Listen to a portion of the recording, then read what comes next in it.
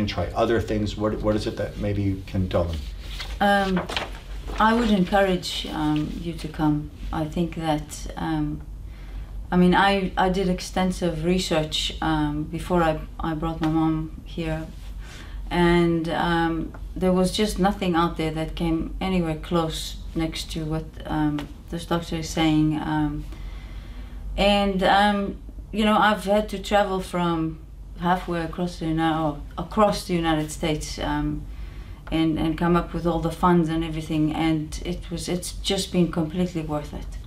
So um, if you have a loved one um, and uh, that suffered a stroke I would highly recommend that you bring them and and give this a go because if it doesn't work um, I don't think there's any hardly anything out there that's that's going to be helpful Yeah. and if it does work then you will have been very appreciative and thankful Have you or a loved one suffered a stroke? Has there been a massive stroke or, or some uh, tiny uh, infarcts in the brain that have caused you impairment in the function of your speech, uh, function with memory, with physical functions, moving an arm, moving a leg?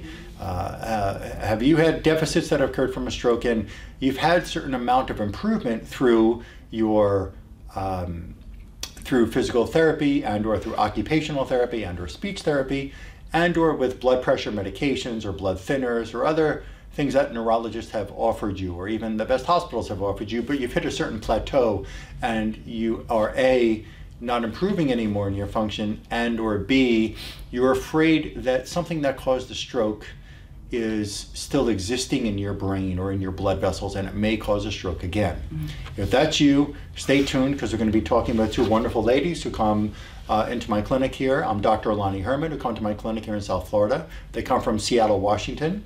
You stay tuned because you're going to hear about some incredible changes that are happening for this lovely lady after just one unique protocol in my clinic. Okay. So Miss Ritter, you're in your early to mid 70s. Mm-hmm. Yes, okay. And you had your first stroke, which occurred, how, how long ago was that first stroke? Five, five years ago. About five years ago was the first stroke. And with that first stroke, it was pretty massive. It was a massive stroke. And yeah. it caused her impairment in the right arm and the right leg. Yeah, arm and leg. She lost all of her speaking. All speaking. All though. speaking. She couldn't say one word. Mm-hmm. Um, just quite pretty scary Pretty scary. yeah I then, understand. yeah And then somehow just she regained function. There was maybe some physical therapy and yeah And she had uh, yeah she had a lot of um, she had a lot of physical therapy and speech um, speech therapy. ther- therapy and she gained a lot of her speaking um, back And, and But- even the function of the right arm and leg came back function of the right arm and leg to a certain I would degree. to a certain degree yeah, to yeah. a certain degree. Unfortunately, though, she had another stroke in was it February, February of 2019? Yeah, this yeah. year, yeah. Okay. And so that stroke left what kind of impairments in February of 2019? Um, well, she became really weak mm -hmm. and um, she, she seemed really fragile to me. And um, I just felt like she, just everything was kind of going downhill. Mm -hmm. And um, I was really scared that you know when is another stroke going to happen again, Mhm. and the doctors were only offering her things like um, that cholesterol medication, um, which is not even cholesterol medication, um, and and blood thinners, and I just was not. I didn't feel like any of the medication they were recommending was going to do anything for her, Mhm. and so um, we looked. We found you, yay! Mhm. And um, so just um, A- And I'm sorry, Yeah. it- it- b- b- besides where you, what you were about to say, I'm sorry, try to remember what Uh-huh. you were going to say, but one of the other malfunctions that occurred again from the second stroke was that she was losing her ability to carry on a conversation yeah, or lost her ability to carry on conversation. She couldn't remember things. Memory was poor, speaking was poor, yeah, speech, trying to come up with words, it was very delayed. very delayed, yeah. Yeah, and even trying to find a word, sometimes they couldn't even find a word to, to yeah, say. yeah, right? cou- yeah. Couldn't find a word. Memory, short-term memory was really affected. Really affected. Yeah, and um, And now, Yeah, after one protocol, when we did and what we found, which I will create another video that we'll have attached to this video describing the, some of the unique findings in this unique exam process and the unique science that I practice. Now, with that said, uh, what has she regained in this first round, which was close to a 100 day protocol that she followed at home? She went back to Israel and still followed it there. Pretty simple to follow. Was it easy for you to follow? Yeah. Very easy. And now you came back in, and we're talking. Today is August twentieth, two thousand eighteen. Your first visit was back in March of this year, shortly after that second stroke. And what improvements now have we experienced? Um, well, You want her to speak for you? Can I tell her? No. no? Okay. so, um, I've noticed that it's much easier to hold a conversation with my mom. Mm -hmm. um, she's very cognizant. Um, her ability to retrieve her words are like about 90% better than how it was And you feel that way too? before. I mean, she Yeah. still has a, an occasional hiccup where she can't find the word, Mhm. um, or it takes her a longer time, but she still finds it. Whereas before, she'd be like, um, just at a, Not able the- to come up at yeah, all. Not able, yeah. I remember So- that from our first consultation. I mean, it was very difficult for her to express anything. Uh, and Yeah. you even said that your other daughter, there's two daughters, sisters, you told me that your other daughter, her sister, is very happy with your improvement level, yeah? Because she notices she can, what, she can carry on a conversation with you now. Yeah.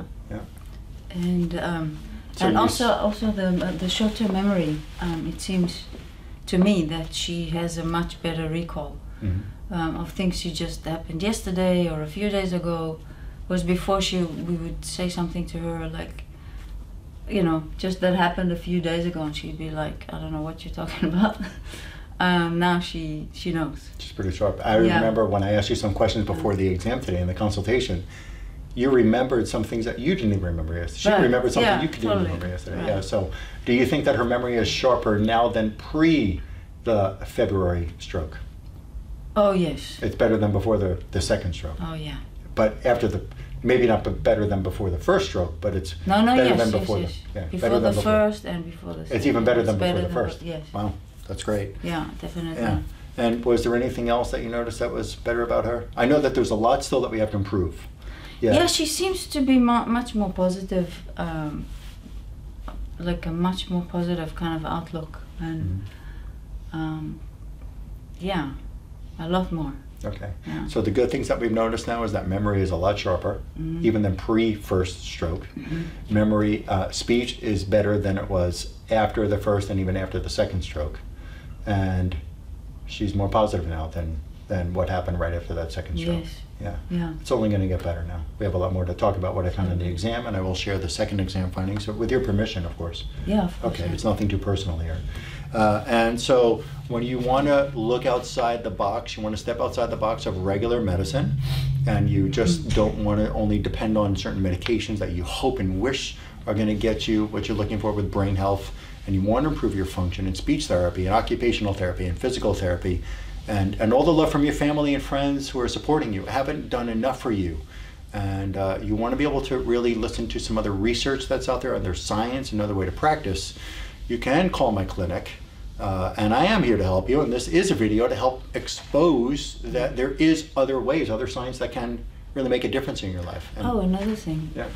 Can, can we jump in? Please go ahead. Um, you know, her blood pressure has, has gone down. Um, she used to have to take um, um, blood pressure meds, and now she's still taking them, but they're less. Less amount of it in the Yeah. day or less times in the week Uh, well, in the in the day, like the Mm. dosage is is dropped. yeah, it's, And the blood pressure is better. it's better. Yeah. Yeah, better without all the blood pressure meds. And you check it every day?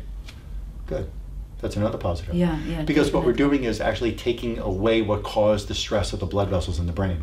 There's different infections and there's different chemicals that get into the blood vessels in the brain and make those blood vessels swell, they constrict, they cut off blood flow to the parts of the brain. So it's not just from a clot or a, a thrombus or an embolism or a hemorrhage that can occur, uh, you know, where we can have a, an aneurysm or something uh, to that degree, where there's a, a stroke from a block or, or excess of bleeding in a certain part of the brain. But you can actually have occlusion of blood vessels in the brain that make the stroke. The occlusion, not from a clot, but occlusion can happen because the inside of the blood vessel gets so thick, the lumen inside the artery gets so thick that it narrows down, it squeezes down on the amount of space that the blood is flowing through.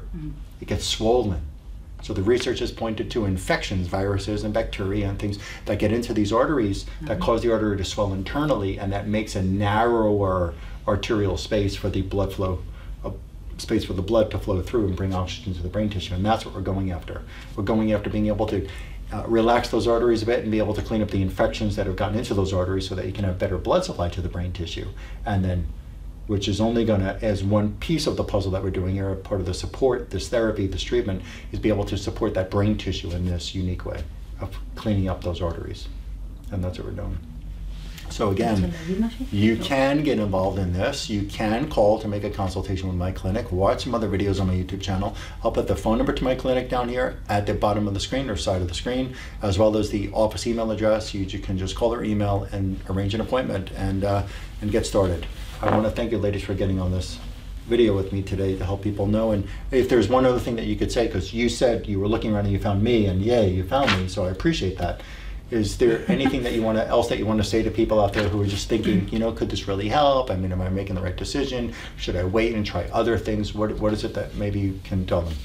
Um, I would encourage um, you to come. I think that, um, I mean, I, I did extensive research um, before I, I brought my mom here, and um, there was just nothing out there that came anywhere close next to what um, this doctor is saying. Um, and, um, you know, I've had to travel from halfway across the, Uni- across the United States um, and, and come up with all the funds and everything and it was it's just been completely worth it so um, if you have a loved one um, and uh, that suffered a stroke I would highly recommend that you bring them and and give this a go because if it doesn't work um, I don't think there's any hardly anything out there that's that's going to be helpful Yeah. and if it does work then you will have been very appreciative and thankful. Yeah, of Okay. course. Thanks. We Thank look you. forward helping. You're welcome. You're welcome. We look forward to helping you.